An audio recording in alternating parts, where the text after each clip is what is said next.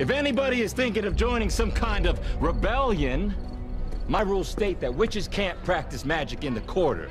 And yet, a little birdie informed me that Jane-Anne was cooking up something magically delicious. Oh, yeah, while I have you, quick Q&A.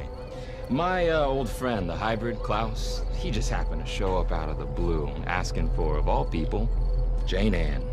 Any idea why? I don't know.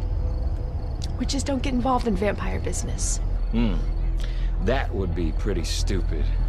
That's for sure. Tell you what. Go back to the restaurant. Cook up some of that famous gumbo. and Keep those tourists happy. Take the body. What? No, stop! Stop! Marcel! I'm gonna hold on to your sister's body in case maybe you remember why Klaus is here. Marcel, please. Her body won't be at peace. Not my problem. The Originals special premiere event Thursday, October 3rd on the CW.